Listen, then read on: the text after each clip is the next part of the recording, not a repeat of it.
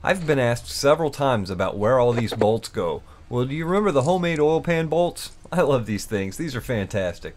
They worked great for a bolt that only gets 5 pounds of torque and it solved a problem. But I've got buckets upon buckets of used engine bolts from old 4G63s and have identified all the front case and oil filter housing bolts right here on the workbench.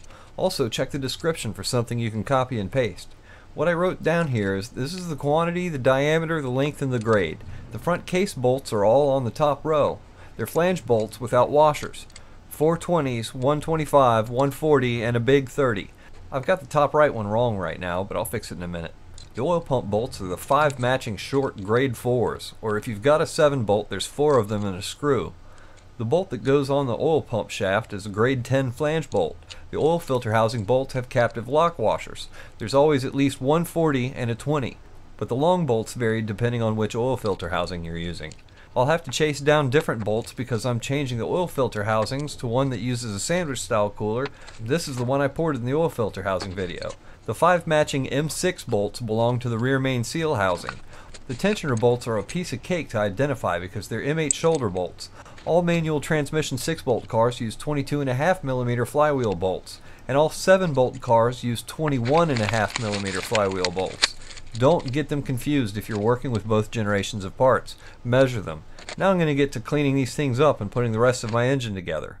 Once everything's clean, it's easier to get to know it better. I still have other parts that oil touch that need to be washed out, but I want to do everything necessary right here in my garage in order to fix this car. Aside from the gaskets and seals, it's a requirement, everything has to be from something else, and that's just how it goes on the Hyundai.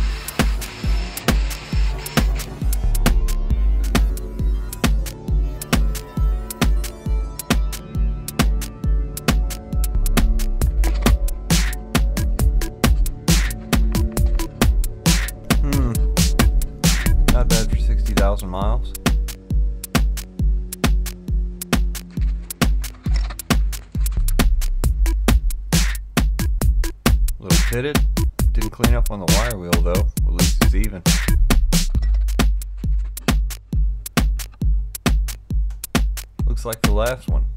Oof. Spoke too soon. Not even. Ugh.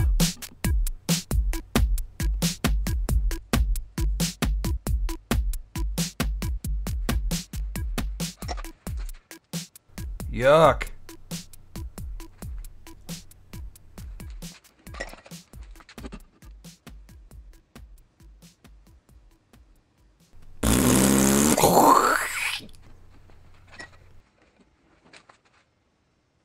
The face on this one is concave. Look at that.